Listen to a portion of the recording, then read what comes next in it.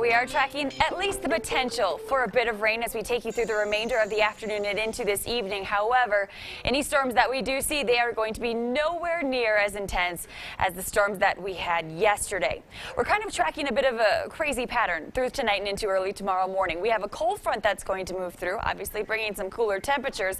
But as that coolest air rushes in, could fire off a few showers late tonight that will last through early tomorrow morning. So a bit of a soggy start to what's going to end up being a very fall-like day. Temperatures tonight, they're dropping into the 40s and 50s across the lower elevations. Once you head west of I-25, we're dropping into the 30s and 40s. So it's going to be cool tonight and cool tomorrow morning and cool through tomorrow afternoon. 68 degrees is all we're expecting around Colorado Springs, 76 in Pueblo, 72 in Walsenburg, 74 to 76 across the lower Arkansas River Valley. The San Luis Valley, 77 is what we'll end up with in Alamosa. So definitely not feeling very much like an August afternoon.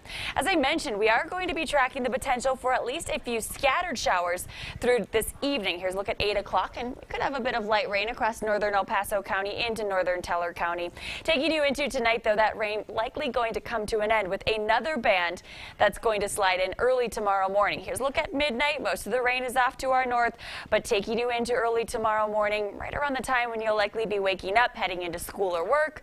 We're going to get those showers to expand really out across the plains. That's where you see most of the yellow, which is SkyCast's way of suggesting some of the heaviest rain tomorrow morning will be around Burlington, Lamar, and just to the north of Lamar. We are expecting these showers to stick around through about 10 o'clock and into the lunchtime hour, but then through tomorrow afternoon, all of those showers, they're going to come to an end. Skies will begin to clear, and then we'll just be left with that cooler air. So all in all, a relatively quiet weather day, but once again, might need the umbrella through the first half of tomorrow. 68 tomorrow, and then just as Colorado weather likes to do, we are going to ride the, the temperature roller coaster here over the next couple of days. 60s tomorrow.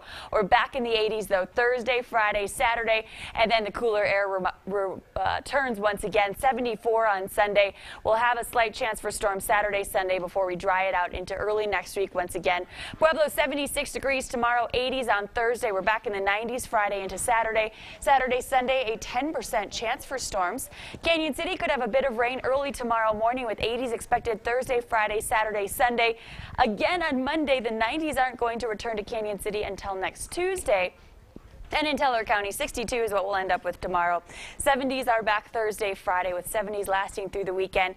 We get a cold front that moves through Saturday night into Sunday morning, cooling your Sunday down. So if you're already planning your weekend, just keep in mind that during the afternoons, could get a few showers. But again, it doesn't look like we have the severe weather setup like we had yesterday. So as far as afternoons go, not quite as bad. Yeah. yeah. So tomorrow in the 60s for Colorado Springs and Teller County, we're going to need our hat and gloves. I yeah. mean, break out the boots. Indeed, yeah. it's going to feel like football weather tomorrow. people will be making chili. I'm sure the grocery stores will be packed with people looking for hot chocolate and all that. we should just tailgate tomorrow. And then we'll return it. I mean, I'm in. Get us ready for football That's season. Sounds good to you me. Can never be too prepared to tailgate. I will meet you out there in all of my Broncos gear. All right, that yes. sounds good. I hope our producers are listening and already mm -hmm. making plans for that. Time. We need to get grocery that, list. We need to get that done. And if Rachael wants something done, it gets done. trust me.